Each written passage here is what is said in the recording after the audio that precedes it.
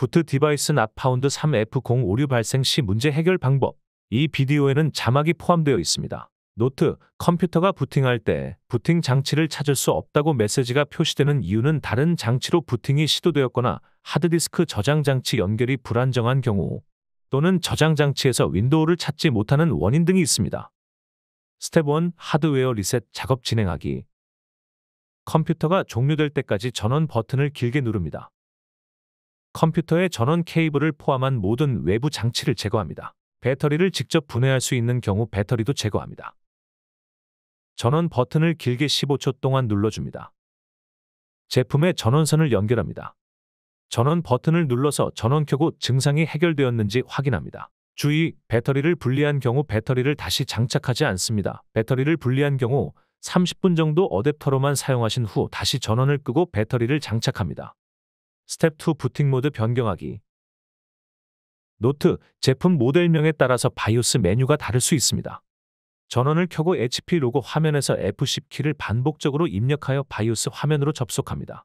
Advanced Secure Boot Configuration 항목을 선택합니다. Configure Legacy Support and Secure Boot 항목을 Legacy Support Enable and Secure Boot Disable로 설정합니다. Advanced Boot Option으로 접속해 주신 후 UEFI Boot Order 체크되어 있는지 확인합니다. F10 키를 입력하고 설정을 저장해 주시고 메시지가 표시되면 Yes를 선택합니다. 스텝 3 하드 드라이브 저장 장치 진단하기 노트 진단 프로그램 버전에 따라 메뉴가 다를 수 있습니다. 오류 화면에서 F2 키를 입력합니다. 구성 요소 테스트를 선택합니다. 저장 장치 혹은 하드 드라이브를 선택합니다.